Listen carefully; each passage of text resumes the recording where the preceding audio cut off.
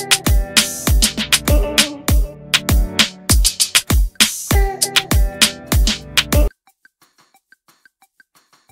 รีรัมย์ต้องเหนื่อย 120 นาทีก่อนโชว์แม่นซัลโวจุดโทษผ่านเข้ารอบ 8 ทีมรีโวคัพบุรีรัมย์ยูไนเต็ดที่เพิ่งจะกระเด็นตกรอบช้าง FA คัพต้องลุ้นเหนื่อยถึงขั้นดวลจุดโทษ ก่อนเอาชนะอุทัยธานี FC ผ่านเข้ารอบ 8 ทีมสุดท้ายรีโวคัพบุรีรัมย์ยูไนเต็ดจากฝูงรีโวไทยลีก มีคิวเปิดช้างอารีนารับการมาเยือนของ ช้างป่าอุทัยธานี FC ทีมร่วมลีกในศึกฟุตบอลรีโวคัพ 2023-24 รอบ 16 ทีมสุดท้ายเมื่อ วันที่ 13 มีนาคม โดยก่อนหน้านี้บุรีรัมย์เพิ่งพลาดท่าแพ้บางกอก FC ทีมจากไทยลีก 3 กระเด็นตกรอบฟุตบอลช้าง FA คัพมาแล้วเกมนี้เจ้าบ้านเป็นฝ่ายครองบอลได้มากกว่าชัดเจน และสร้างจังหวะลุ้นทำประตูได้บ่อยครั้ง แต่ว่าจะได้ประตูขึ้นนำ1ถึง0ต้องรอถึงช่วงทดเวลาบาดเจ็บนาที 45ถึง1จากการส่งบอลเข้าไปสู่ก้นตาข่ายของธนกฤษโชดเมืองปากและเป็นประตูเดียวในครึ่งแรกครึ่งหลังการครองบอลส่วนใหญ่ยังอยู่กับเจ้าบ้าน แต่ว่านาที 57 จิโลนฮามัดอามินยิงให้อุทัยธานีตามตีเสมอ 1-1 แม้ว่านาที 79 กิเวเมวิโซลี่จะยิงให้บุรีรัมย์ขึ้นนำอีกครั้ง 2-1 เข้าสู่นาที 86 ชาราลัมโบส ชาราลัมบูส ยิงให้อุทัยธานีตามตีเสมอ 2-2 ต้องเล่นช่วงต่อเวลาพิเศษอีก 30 นาที ช่วงต่อเวลาพิเศษบุรีรัมยังเป็นฝ่ายครองเกมเดินหน้าบุกเข้าใส่อย่างต่อเนื่อง ขณะที่อุทัยธานีหันมาเล่นเกมรับลึกหน้ากรอบเขตโทษตัวเอง เพื่อหวังยื้อไปให้ถึงการดวลจุดโทษหาผู้ชนะ ปรากฏว่าเกมรับของทีมเยือนทำได้อย่างยอดเยี่ยมต้านทานเกมบุกเจ้าบ้านได้หมดทำให้ครบ 120 นาทีเสมอ 2-2 ต้องตัดสินด้วยการยิงลูกโทษที่จุดโทษ ผลการลูกโทษที่จุดโทษปรากฏว่าปราสาทสายฟ้าเฉียบคมกว่าในการจบสกอร์เป็นเอาชนะ 3-1 สกอร์รวมชนะ 5-3 ผ่านเข้ารอบ 8 ทีมสุดท้ายได้สำเร็จ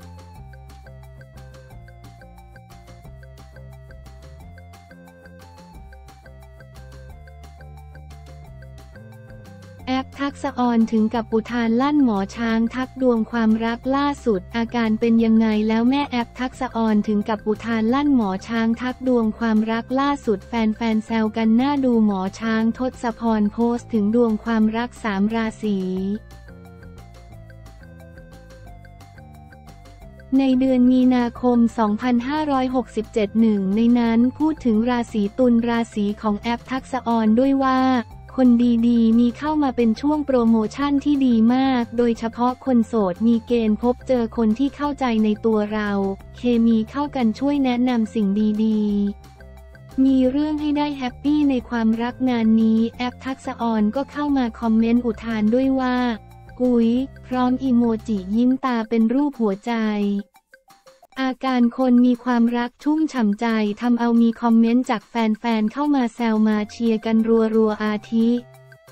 ที่แอปเลื่อนสถานะเป็นคุณแฟนเลยค่ะ แต่งค่ะต้องมาแล้ววอวอย่ารอช้าค่ะ ที่แอร์แฟนนกุลรักที่แอป คนนี้จริงใจสุดพูดตรงจริงใจรักจริงไม่ต้องห่วงไม่มีนอกใจแน่นอน เพราะรู้จักมานานแอดนองกุลแอด AFF เทคซาออนเลื่อนเลย แล้วจะรู้ว่ารักแท้มีอยู่จริง จับมือกันข้ามทุกอย่างด้วยความรักความเข้าใจ เป็นต้น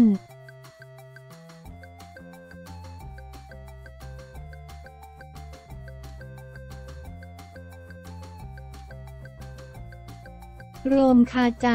ทักษิณป่วยจริงหรือรัฐบาลหลอกประชาชนกันแน่ ไม่รู้ใครนายกรัฐมนตรีตัวจริงโรมคาใจ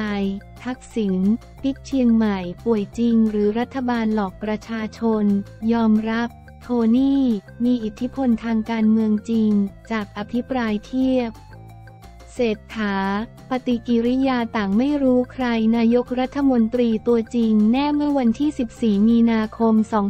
2567 ที่รัฐสภานายรังสีมันโรม สสบัญชีรายชื่อพักก้าวไกลให้สัมภาษณ์กรณีนายทักษิณชินวัตรอดีตนายกรัฐมนตรีเดินทางไปจังหวัดเชียงใหม่ว่าหลายฝ่ายมองว่านายทักษิณต้องการทวงคืนพื้นที่แต่อาจจะอยากกลับบ้านก็ได้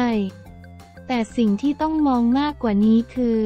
เรื่องสุขภาพที่ผ่านมาประชาชนรับรู้ว่านายทักษิณสุขภาพแย่มาก แต่อยู่ๆก็ไปเชียงใหม่ได้ทำให้เกิดความคาใจว่ารัฐบาลหลอกเราหรือไม่ เพราะถ้ารัฐบาลไม่ตรงไปตรงมากับประชาชน เชื่อว่าเป็นรัฐบาลที่ใช้ไม่ได้ดังนั้นถ้านายทักษิณไม่ได้ป่วยจริง และรัฐบาลหลอก ก็ต้องรับผิดชอบต่อประชาชน นายรังสีมันกล่าวต่อว่าในทางการเมืองยอมรับว่านายทักษิณมีอิทธิพลต่อการเมืองไทย พวกเราเคยอภิปรายถึงนายทักษิณถึงนายเศรษฐาทวีสินนายกรัฐมนตรีและรัฐมนตรีว่าการกระทรวงคลังในสภา เห็นปฏิกิริยาที่แตกต่างกัน คนละเรื่องจึงเริ่มไม่แน่ใจว่าตกลงใครคือนายกรัฐมนตรี ใครไม่ใช่หลังจากนี้เชื่อว่านายทักษิณจะมีบทบาทสำคัญ ผมอยากโฟกัสถึงความตรงไปตรงมา ความซื่อสัตย์ของรัฐบาลมากกว่า ไม่ต้องการเห็นรัฐบาลที่หลอกลวงประชาชน อยากเห็นรัฐบาลที่พูดความจริง ซึ่งหลายฝ่ายบอกว่านายทักษิณถูกกระทำมาก่อน ผมก็เห็นด้วยมีหลายข้อที่ไม่ได้รับความเป็นธรรม แต่การแก้ไขไม่ใช่การโกหก ต้องมาคุยด้วยกติกาในระบบไขได้ นายรังสีมันกล่าว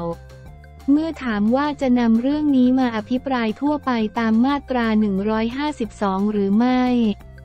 นายรังสีมันกล่าวว่ายังอยู่ในกระบวนการสรุปหัวข้ออภิปราย ครั้งนี้อภิปรายทั่วไปแบบไม่ลงมติ คงไม่นำไปสู่การถอดถอนนายกรัฐมนตรีหรือรัฐมนตรีได้ แต่รัฐบาลต้องตอบและต้องยอมรับ เพราะถ้าเราดูจากสิ่งที่เกิดขึ้นในการจัดตั้งรัฐบาล จนถึงกรณีนายทักษิณ ประชาชนไม่เชื่อว่ารัฐบาลพูดความจริง ผนวกกับเมื่อฟังคำตอบในเวทีการอภิปราย 152 จะยิ่งสร้างปัญหาความไม่เชื่อมั่นต่อรัฐบาล ขออย่าดูเบาผลลัพธ์ทางการเมือง ต้องจับตาดูนายรังสีมันกล่าวต่อว่า ยืนยันว่าการอภิปรายครั้งนี้ไม่ใช่หมัดแยบ แต่จะเป็นคำถามสำคัญแม้พักก้าวไกลจะเผชิญกับความท้าทายในเรื่องอื่น ยอมรับว่ามีหลายเรื่องที่ทำให้เราหลุดโฟกัส เช่น การที่คณะกรรมการการเลือกตั้ง กกตส่งเรื่องยุบพักไปที่ศาลรรัฐธรรมนูญ เมื่อถามว่ามีการตั้งข้อสังเกตว่าพักก้าวไกลจะแตะไปที่กระบวนการกรณีของนายทักษิณไม่เหมือนกับยุครัฐบาลพลเอกประยุทธ์ จันโอชา